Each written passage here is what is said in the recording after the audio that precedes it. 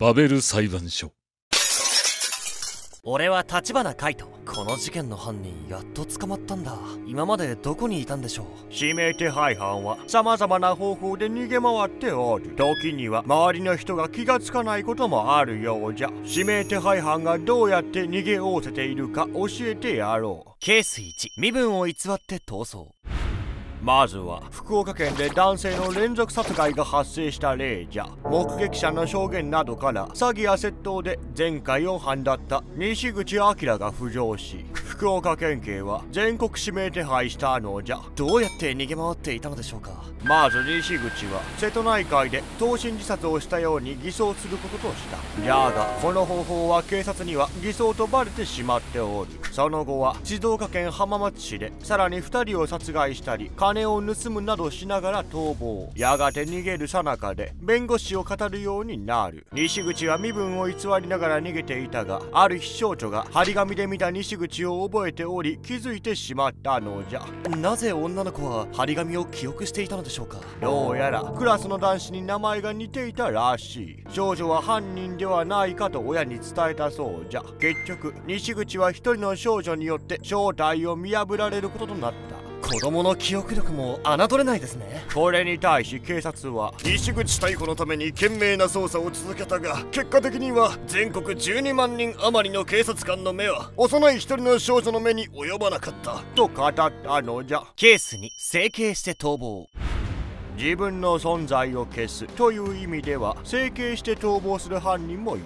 有名なのが福田和子じゃな。確か時効の1ヶ月前に捕まった？そう。福田和子は14年と12ヶ月逃亡していた時に偽名と整形を繰り返したため7つの顔を持つ女として話題になった福田は逃亡中に和菓子屋の主人と出会い内妻として同居を始めたのじゃ。夫婦を隠れ蓑にして逃亡生活を送っていたが夫に福田和子ではと感づかれたため警察が踏み込む前に間一髪で逃亡することに成功しておる。その後は中村玲子という偽名で生活してたが時効の1ヶ月前にテレビで福田の生声が流れたことで状況は変わる。声は常連の玲子ちゃんにそっくりやわ。店に残っていた痕跡から警察は中村玲子が和子と断定し逮捕したのじゃ。ちなみに福田は逮捕されるまで20以上の偽名を使い貸しビルのオーナーパブの経営者エステの指導員などと身分を使い分けて別人になりすましたが誰も疑わなかったという。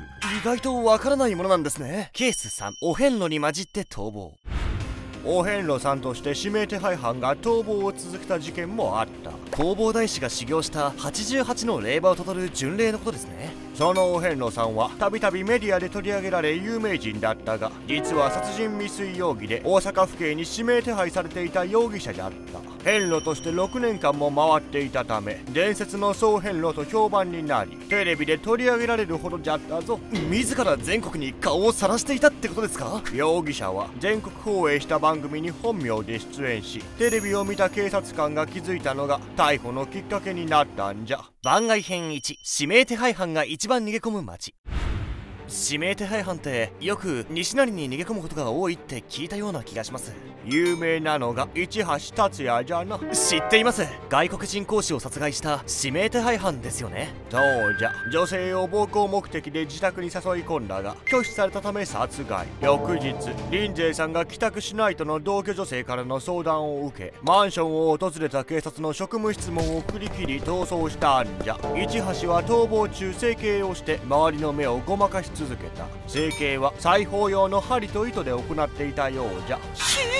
痛そう。さらに沖縄の離島で自給自足生活をしたり出稼ぎで西成に出入りしていたことが分かっておりフェリーで何度も沖縄の島に行き金がなくなると関西での住み込みの仕事をする生活を繰り返していたのじゃ。さらに貯めた金を使って病院で整形もしておる。じゃが最後は整形した病院の医師やフェリー乗り場の係員によって通報され逮捕。2年7ヶ月に及ぶ逃走劇は終わったぞ。多くの一般の人からの通報があったからなんですね。メディアの力はかなり大きかったと言えそうじゃ。ケース4異性を隠れ蓑にして逃亡死者13人を出した地下鉄事件の犯人の一人菊池直子は男と夫婦やカップルを偽ることで逃げ延びておるぞ。さらに戸籍を盗んで他人になりすますなどして逃亡を続けたのじゃ。戸籍を盗む？そんなこと可能なんですか？どうやら役所で人の書類を盗み見し他人になりすますことに成功したのじゃ。当時は名前と住所の申告だけで住民票を手に入れることができた。ゆるいですね。こうして菊池は桜井千鶴子という名前を手に入れ休日に山登りに行くなど普通に出歩いていたらしい。やがて菊池は職場で知り合った男性と交際することになる。僕と結婚を前提に付き合ってもらえませんか？あの私本当は菊池直子なの。そんなの気にしないよ。愛しているから一緒に暮らそうええ愛が深いですね。その後も普通に旅行したり記念写真を撮ったり男の実家にも足を運んでいたと言われておる。身近な人は意外と気づかないってことなのでしょうか。じゃが最終的に菊池に似た女がいると警察に情報提供があり逮捕されたのじゃ。ちなみに似たような例で強盗目的で親子殺害し逃亡を続けていた小池は同居していた女性宅のトイレで倒れておりその後死亡したが女性はこう証言しておる偽名で接していました。小池だとは思いませんでした。なんで11年も逃げ続けられたのですか？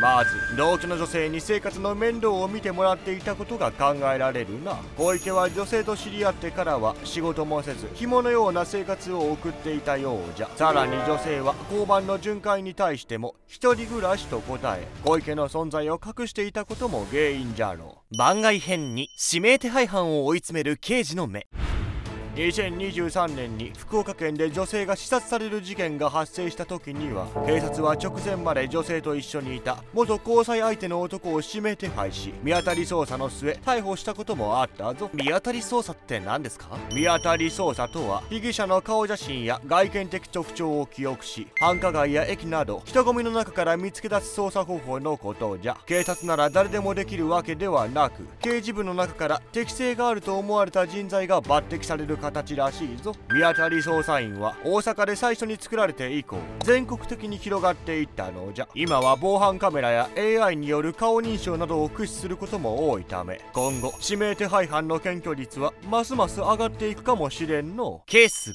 自殺を偽装して逃亡。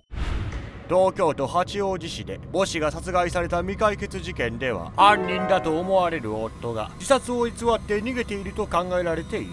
実際に指名手配されたその夫の車が日光の華厳の滝近くで見つかったため警察がダムの水を止めるなどして滝壺の捜索を行ったこともある。シャツや財布などの夫の遺留品が滝や近くの水辺で出てきており自殺を匂わせているものの犯人は未だ見つかっておらんのじゃ。そこで警察では自殺を偽装したのではとの疑いが浮上しておる今もどこかで逃げ回っているのかもしれないですね。カメラの映像などから人の要望に関する情報を抽出し AI 人工知能などで解析する顔認証技術を2021年に JR 東日本が導入したことがニュースになったことがある。全国で導入が進めば指名手配犯ももっと捕まるかもしれませんね。